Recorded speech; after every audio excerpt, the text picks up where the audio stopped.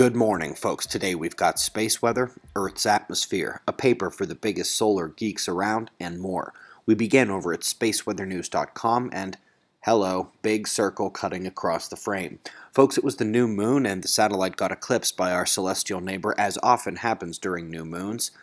The coronal hole, big dark patches, one departing, and the southern opening is coming in to face us today. We'll be looking at the southwest Pacific for energy signatures. But beyond the large dark patches, I'm focused on the thinner dark ropes, the plasma filaments. There are two sharing one heliospheric longitude segment.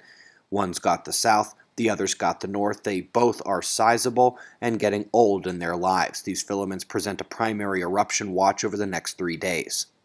And that's really all we're looking for right now as the sunspots are small and we've got absolutely no solar flaring. And no geomagnetic storms either, which is good because one, a plasma penetration event occurred last night over Europe. Luckily, it was short lived.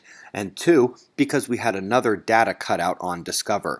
Folks, these are what experts think are failures due to cosmic ray bombardment of the satellite, which really shouldn't be happening for a space weather satellite unless there are way more cosmic rays than expected.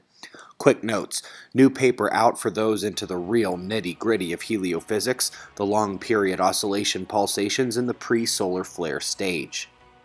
Top weather of the last day was likely the storm that swept through southern Australia. Thousands were without power at one point, and winds topped 100 kilometers per hour. Quickly, let's go through atmospheric quality conditions, starting with your carbon dioxide.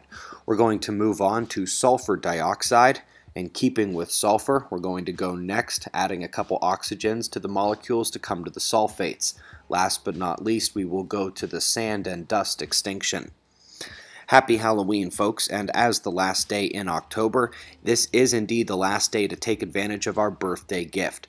On suspiciousobservers.org, click the Observing the Frontier button to check out the conference page, the schedule, the speakers, their talks, and a couple preview videos as well. If you haven't seen those, they tend to reach up inside your brain and don't let go very easily.